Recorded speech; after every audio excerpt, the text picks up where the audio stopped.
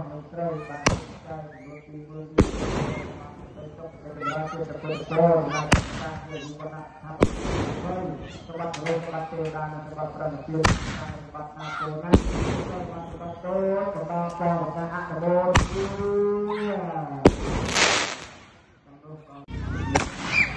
បអរបាទអូណាព្រះបាទព្រះខាងណា នៅកម្មវិធីបន់មួយទីត្រូវយកចាស់មួយបាទដល់សពទៅពុទ្ធពរណាទៅ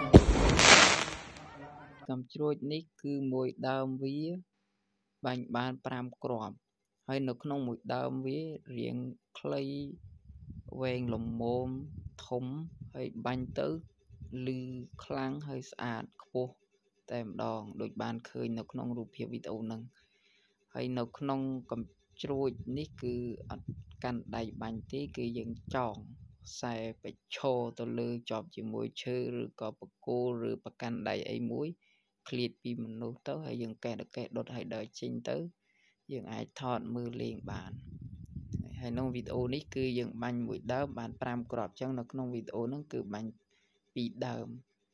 ហើយដូចអ្នកនរគ្នាបានឃើញការបាញ់នៅក្នុងកម្មវិធីប្រពធ្វើបនមៀកបូជា